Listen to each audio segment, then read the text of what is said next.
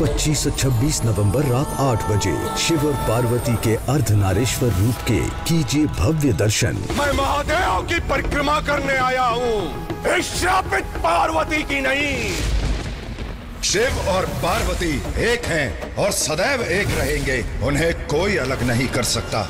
25 और 26 नवंबर रात 8 बजे शिव और पार्वती के अर्धनारेश्वर रूप के कीजिए भव्य दर्शन। मैं महादेव की परिक्रमा करने आया हूँ। श्रापित पार्वती की नहीं। शिव और पार्वती एक हैं और सदैव एक रहेंगे। उन्हें कोई अलग नहीं कर सकता। 25 और 26 नवंबर रात 8 बजे शिव और पार्वती के अर्धनारेश्वर रूप के कीजिए भव्य दर्शन। मैं महादेव की परिक्रमा करने आया हूँ। श्रापित पार्वती की नहीं। शिव और पार्वती एक हैं और सदैव एक रहेंगे। उन्हें कोई अलग नहीं कर सकता।